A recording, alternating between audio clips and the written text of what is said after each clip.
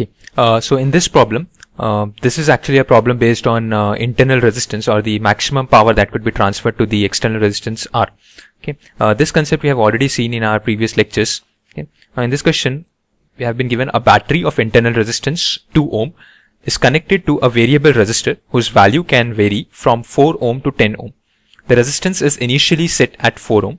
If the resistance is now increased, then okay, the options which are given to us, available to us, are power consumed by that resistance will decrease, power consumed by the resistance will increase, power consumed by it may increase or it may decrease, power consumed will first increase and then decrease.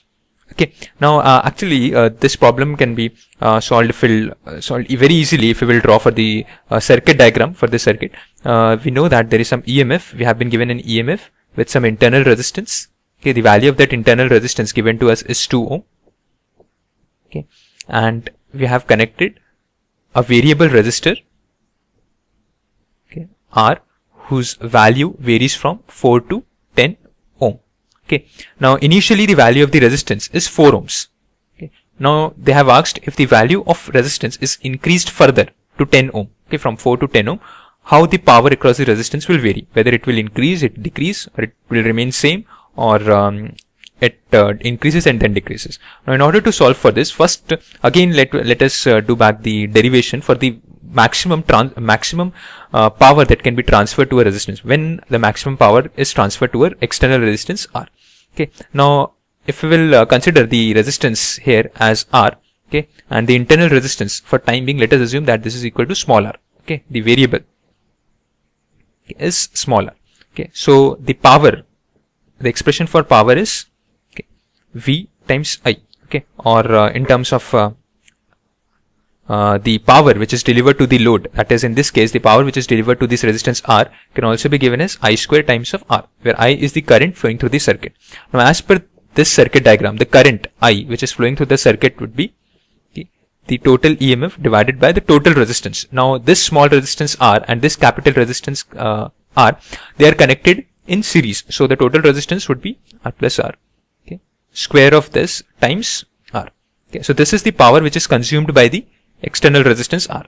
Now we want to maximize this power. Okay, so for maximum uh, power uh, that would be delivered to the load, we would be using this expression. That is, we'll be differentiating this with respect to R and equating it to zero to get a value of capital R that will maximize the power which is delivered across the load resistance. Okay, now if we will differentiate this term, okay, we'll be getting dp by dr equals to e square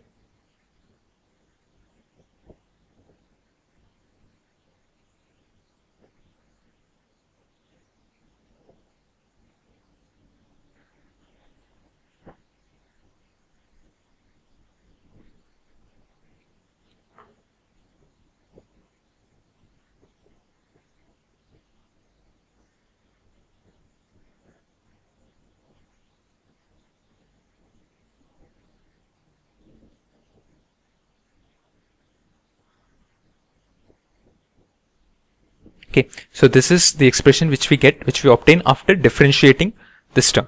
Now, uh, equating this to 0, equating this term to 0, we'll be getting the value. Okay, uh, I'll rub this uh, last two options.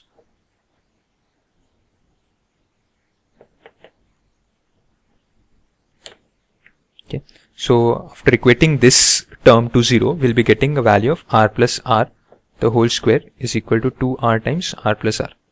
Okay, so this will give us the value of capital R is equal to small r.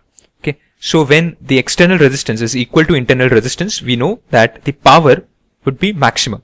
Okay, and if we will increase the value of resistance from uh, uh, greater than uh, this internal resistance, the power will decrease. That means, okay, the curve which we will be getting, okay, for the power across the resistance R by increasing the value of R would be something like this. Okay. And this maximum power corresponds to a resistance capital R equals to small r. Now, uh, as per the numerical, as per the problem which is given to us, we have been given that the external resistance starts from the value of 4 ohm. Okay, and the internal resistance present is 2 ohm.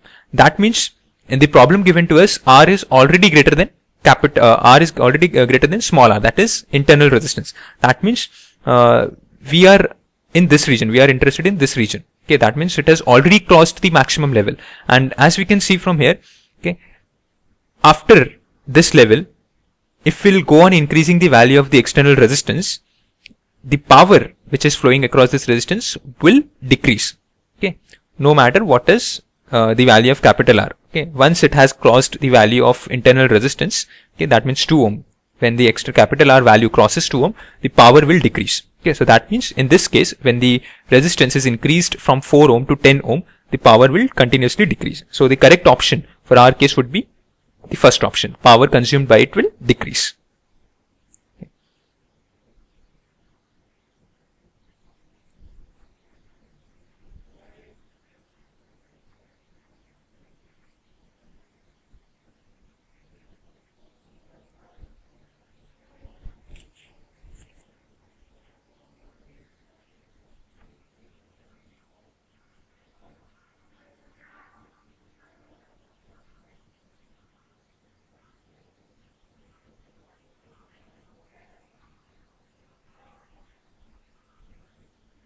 Uh, before we proceed to next example, uh, let me give you a shortcut for uh, when uh, n identical resistors are connected in parallel. Okay, what we have with us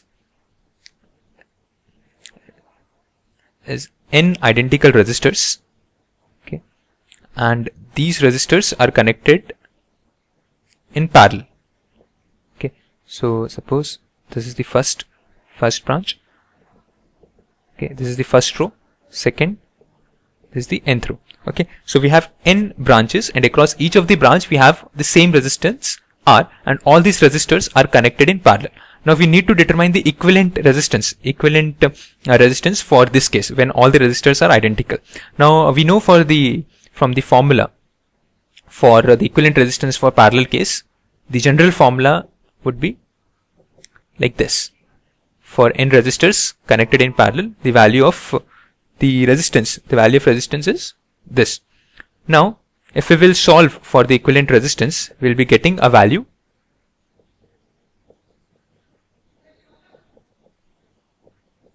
okay. This would be n terms. Okay. Since there are n branches there would be n terms. So from here we can say that 1 by r equivalent would be equal to n by r. Okay. That means r equivalent is r by n so what we can observe from this expression is that when n identical resistors are connected in parallel, the equivalent resistance would be a single individual resistance given to us divided by the number of branches present in the circuit. That means R by N. Okay, so this is a very important result okay, for equivalent resistance for parallel cases which we will be using further in our case.